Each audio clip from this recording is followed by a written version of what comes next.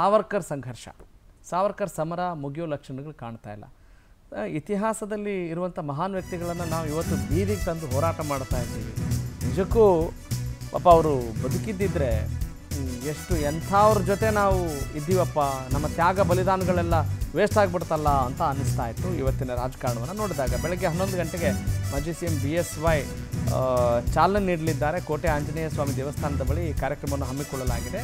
ಆದರೆ ಆ, ಇಲ್ಲಿ ಮೈಸೂರಿನ ಅರಮನೆ ಮುಂಭಾಗದಲ್ಲಿರುವಂಥ ದೇವಾಲಯದ ಆವರಣದಲ್ಲಿ ಒಂದು ಕಾರ್ಯಕ್ರಮಕ್ಕೆ ಚಾಲನೆ ನೀಡಲಾಗುತ್ತೆ. ಸಾವರ್ಕರ್ ರಥಯಾತ್ರೆಗೆ ಚಾಲನೆ ನೀಡಿದ ಬಳಿಕ ಬಿ ಎಸ್ ವೈ ಭಾಷಣವನ್ನು ಮಾಡಲಿದ್ದಾರೆ. ಮೈಸೂರಿನ ನಾಲ್ಕು ಕ್ಷೇತ್ರಗಳಲ್ಲಿ ವೀರ್ ಸಾವರ್ಕರ್ ರಥಯಾತ್ರೆ ಸಂಚಾರ ಇಲ್ಲಿ ಜೋರಾಗಿ ಸಾಗಲಿದೆ ಅನ್ನುವ ಮಾಹಿತಿ ಇದೆ. ನರಸಿಂಹರಾಜ ಕ್ಷೇತ್ರ, ಚಾಮುಂಡೇಶ್ವರಿ ಕ್ಷೇತ್ರ, ಚಾಮರಾಜ ಕ್ಷೇತ್ರ. ಇನ್ನು ಕೃಷ್ಣರಾಜ ಕ್ಷೇತ್ರದ ಪ್ರಮುಖ ರಸ್ತೆ ವೃತ್ತಗಳಲ್ಲಿ ಈ ರಥಯಾತ್ರೆ ಸಂಚಾರ ಸಾಗಲಿದೆ. ಇವರು ಡಾರ್ಪರ್ ಅಂತ ಹೇಳಿ ಒಂದು ಉತ್ತಮ ತಳಿಯ ಕುರಿ ಸಾಕಣೆ ಮಾಡಿ ವರ್ಷಕ್ಕೆ ನಲವತ್ತೈವತ್ತು ಲಕ್ಷ ಸಂಪಾದನೆ ಮಾಡ್ತಾರೆ. ನೀವು ಮಾಡಬೇಕಾ? ಅವರಿಂದ ಕಲಿಬೇಕಾ? ಫ್ರೀಡಮ್ ಆ್ಯಪನ್ನು ಈಗಲೇ ಡೌನ್ಲೋಡ್ ಮಾಡಿ. ರಾಜ್ಯದಲ್ಲಿ ಸಾವರ್ಕರ್ ಸಾಧನೆಯನ್ನು ಬಿಂಬಿಸಲು ಕೇಸರಿ ಬ್ರಿಗೇಡ್ ಪ್ಲಾನ್ ಮಾಡಿಕೊಂಡಿದೆ. ಇದು ಕೂಡ ಒಂದು ಚುನಾವಣೆಯ ಬ್ರಹ್ಮಾಸ್ತ್ರ. ಹೀಗೆ ಇವರಿಗೆ ಈ ಮಹಾನ್ ವ್ಯಕ್ತಿಗಳೆಲ್ಲ ಚುನಾವಣೆಗೆ ಬೇಕಾಗತ್ತೆ. ಇದೇ ವಿಚಾರಕ್ಕೆ ಸಂಬಂಧಪಟ್ಟ ಹಾಗೆ ಮತ್ತಷ್ಟು ಮಾಹಿತಿ ನೀಡ್ತಾರೆ. ನಾವು ಮೈಸೂರಿಗೆ ತೆರಳೋಣ. ಅಲ್ಲಿ ನನ್ನ ಕಲೀಗ್ ಸುರೇಶ್ ಮತ್ತಷ್ಟು ಮಾಹಿತಿ ನೀಡ್ತಾರೆ. Okay Suresh very good morning ಒಂದು ಕಡೆ ಸಾವರ್ಕರ್ ಸಂಘರ್ಷ. ಈಗ ಸಂಘರ್ಷ ಶಮನ ಮಾಡೋ ನಿಟ್ಟಿನಲ್ಲಿ ಕೇಸರಿ ಬ್ರಿಗೇಡ್ ಸಾವರ್ಕರ್ ಅನ್ನುವ ಹೆಸರನ್ನು ಯಾವ ರೀತಿ ಬ್ರಹ್ಮಾಸ್ತ್ರವನ್ನಾಗಿ ಮಾಡಿಕೊಳ್ಳಲಿದ್ದಾರೆ, ಇದು ಯಾವ ರೀತಿಯಾದಂಥ ಇಂಪ್ಯಾಕ್ಟ್ ಮಾಡಬಲ್ಲದು ಈ ಒಂದು ರಥಯಾತ್ರೆ? ನಿಜಕ್ಕೂ ರಾಘವ್ ಸೂರ್ಯ, ಮೈಸೂರಿನ ಕೋಟೆ ಆಂಜನೇಯ ಸ್ವಾಮಿ ಟೆಂಪಲ್ ಮುಂಭಾಗ ಸುಮಾರು ಹನ್ನೊಂದು ಗಂಟೆಗೆ ಮಾಜಿ ಸಿಎಂ ಬಿ ಎಸ್ ವೈ ರಥಯಾತ್ರೆಗೆ ಚಾಲನೆಯನ್ನ ಕೊಡ್ತಾರೆ. ಸುಮಾರು ಎಂಟು ದಿನಗಳ ಕಾಲ ರಥಯಾತ್ರೆ ಮೈಸೂರಿನ ನಾಲ್ಕು ಕ್ಷೇತ್ರಗಳನ್ನ ತಲುಪಲಿದೆ. ಮೈಸೂರಿನ ಚಾಮುಂಡೇಶ್ವರಿ ಕ್ಷೇತ್ರ, ನರಸಿಂಹರಾಜ ಕ್ಷೇತ್ರ ಚಾಮರಾಜ ಕ್ಷೇತ್ರ ಸೇರಿದಂತೆ ನಾಲ್ಕು ಕ್ಷೇತ್ರಗಳೇನಿದೆ ಮೈಸೂರಿನಲ್ಲಿ.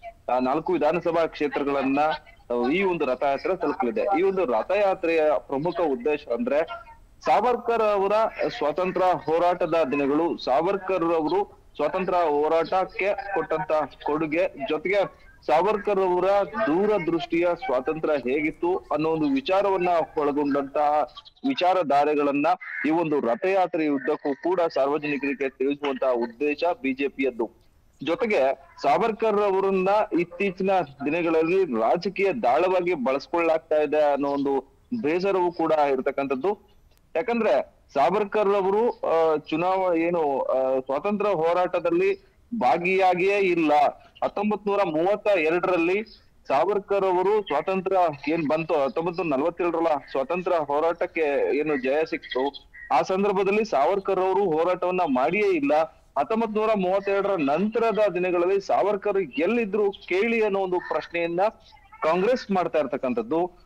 ಒಂದು ಕಡೆ ಸ್ವಾತಂತ್ರ್ಯ ಸ್ವತಂತ್ರ ಭಾರತದ ಮೊಟ್ಟ ಮೊದಲ ಆ, ಪ್ರಧಾನಿಯಾಗಿರ್ತಕ್ಕಂಥ ನೆಹರು ಅವರನ್ನು ಕೂಡ ಬಿಜೆಪಿ ಮರ್ತಿದೆ. ಹೀಗಾಗಿ ಸಾವರ್ಕರ್ ಅವರನ್ನ ರಾರಾಜಿಸಿದೆ ಅನ್ನೋ ಒಂದು ಆರೋಪವನ್ನು ಕೂಡ ಕಾಂಗ್ರೆಸ್ ಮಾಡ್ತಾ ಇತ್ತು.